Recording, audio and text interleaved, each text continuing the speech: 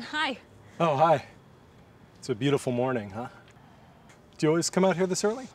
Yes, I do. I usually get up around 5 o'clock. What about you? Do you come out here a lot?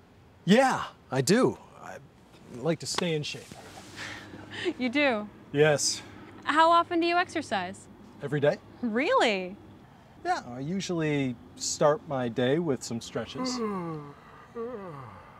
then I always do some sit ups, lift some weights, and when the weather's nice, my bike and I are never too far apart.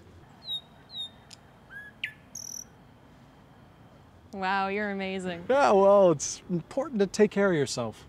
What else do you do to stay in shape? Well, on Tuesdays, I'm on the tennis court by 5:30. I play tennis too. How well do you play?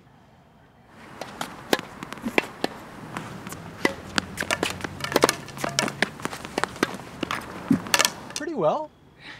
That's a lot of exercise for the weekdays. What do you do on the weekends? Saturdays and Sundays are my days for team sports. Now that's a lot of exercise. Yes, it is. Oh, look at the time. I should get started. Yeah? How, how far are you going? Just a couple miles. Hey, do you want to join me? Uh, It's not that far for a fit guy like you. no, no, not not far at all. Yeah, I'll